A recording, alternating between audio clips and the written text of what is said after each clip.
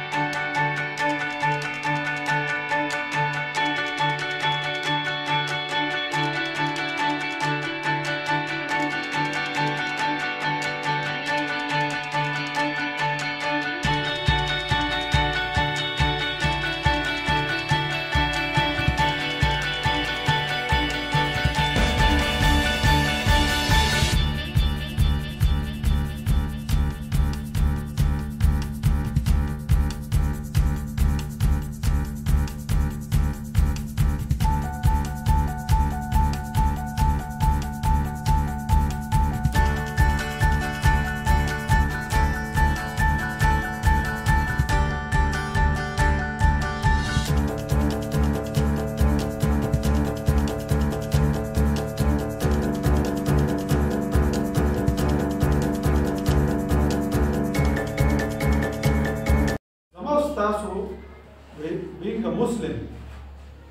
او د دې پښتن پښتنو د خاورې اوسیدونکو حیثیت باندې زموږ دا فرض جوړیږي چې موږ د خپل نوي نسل د جذباتي تصحیح لپاره باندې کوو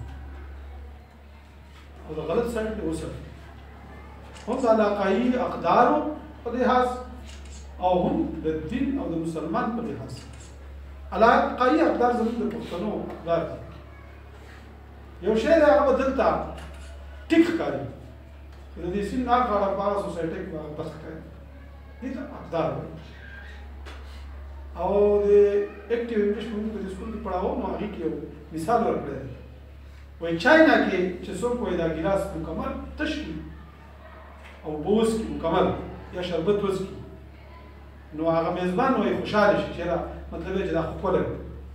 دا ټیکو خو وای برځه کې د پاکستان کې یا ایشیا کې چې وای څوک دا چلو کی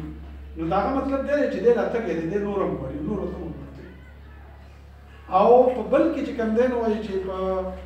کپ کې چای یا په ګلاس کې شربت او هغې کې د چا پرېښودلو نو د هغې دا مطلب دی چې زه دې موړ شوم دا پوره شو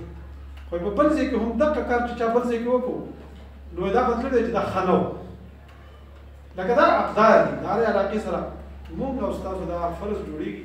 چې موږ خپل اقدار نوي نسل ته منتقل کړو او په ټیک طریقه منتقل کړو یا په دې کې دوه قسمونه دي یو دا چې ماشوم د تاسو ماشومان دي ګولې ډنډه ستاسو د جذبات کې ځان دی کېل ستاسو د جذبات کې ځان دی په کېل کې بیا مختلف قسمونه دي دا غي سره سره شعر او شاعري ستاسو د جذبات کې ځان دی نعت خواني ده بیا پکې چې کوم دی نو څه داسې د موسیقۍ انداز دی لکه ماشومان کله ناکله په سوریلي زبان کې په سوریلي اواز کې